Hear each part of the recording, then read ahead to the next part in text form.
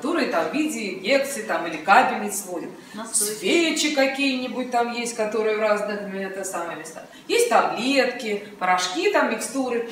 И есть такая лекарственная форма, называется леденец. И мы их видим в аптеках. Пожалуйста, вон их полно на травах леденцов. Правда, они все в основном для лечения горла.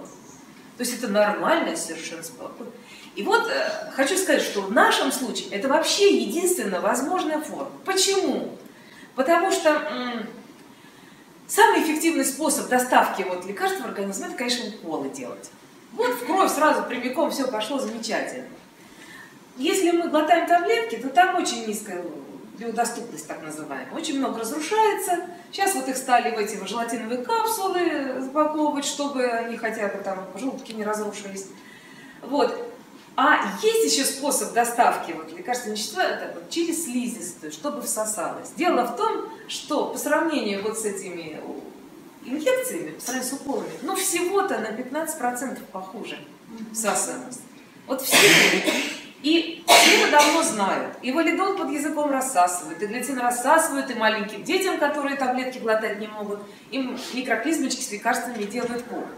Потому что вот есть два действительно доступных места, где вот э, слизистый есть доступ. Это через рот или через пол.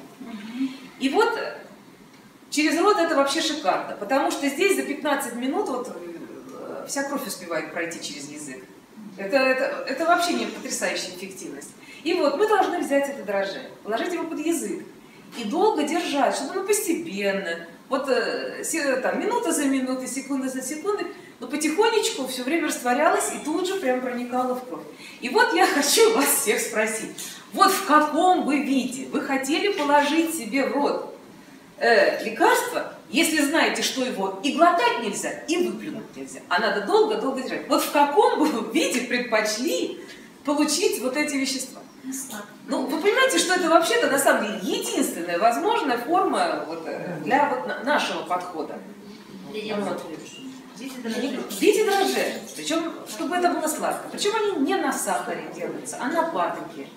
Это патока, это при, когда на сахарных заводах изготавливают сахар, вот из сиропа, вот сахарозу вот эту рафинированную вытаскивают, а сироп сладкий остается. Там еще очень много разных сахаров, на самом деле много разных. И причем это, как сказать, у них у каждого э, своя эффективность. У них там еще большое количество полезных э, свойств этих сахаров. И, э, главное, диабетикам они не опасны. Это не глюкоза. Вот, поэтому э, еще говорят, что чем более рафинированный продукт, чем более начищенный, это хуже воспринимается организмом. А если это природное вещество, вот это вот вытяжка из свекольного сока, это все замечательно. Поэтому я хочу сказать, дрожжи – это гениально. Вот в нашем случае это вообще единственная возможная форма, которая здесь применима. особенно если вспомнить про детей. Вот. И вообще, наверное, это мечта каждого ребенка лечиться конфетами. Серия Аккумулиты Сей. Быстро, эффективно и со вкусом. Измените мир, не изменяя себе.